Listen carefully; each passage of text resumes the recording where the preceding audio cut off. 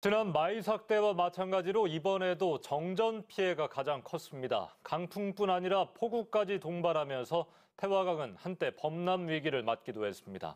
정전과 범람, 태풍 때마다 노출되고 있는 취약점입니다. 조인호 기자입니다. 파손된 변압기를 고치느라 사다리 차가 분주합니다. 남구 무고동에서만 2만 3천 가구가 정전되는 등 3만 7,600여 가구가 정전 피해를 봤습니다.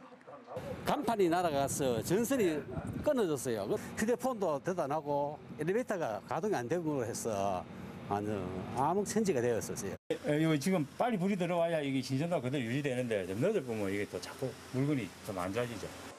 기업체도 태풍을 비껴가진 못했습니다.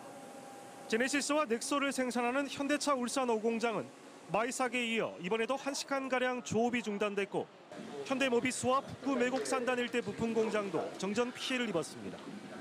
또 월성원전 2, 3호기 터빈 발전기가 정지되고 동부와 울주경찰서 업무도 한때 마비됐습니다. 오전 8시 40분을 기해 발효된 태화강 홍수주의보는 3시간 30분 동안 이어졌습니다.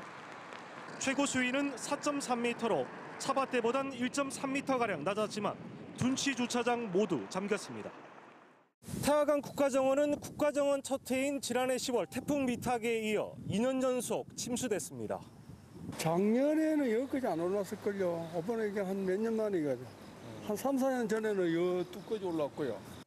동구 울기 등대에선 순간 최대 풍속 초속 41.9m의 강풍이 불었지만 마이삭에 비해 바람 세기는 상대적으로 약했습니다. 하지만 울주군 삼동에 200mm가 넘는 폭우가 쏟아지는 등 강수량은 두 배를 웃돌며 피해를 키웠습니다. 현재 사연댐과 회화댐을 비롯해 울산 지역 모든 댐이 만수위를 기록하고 있는 가운데 연이은 태풍 북상이 점쳐지고 있습니다. UBC 뉴스 조인호입니다.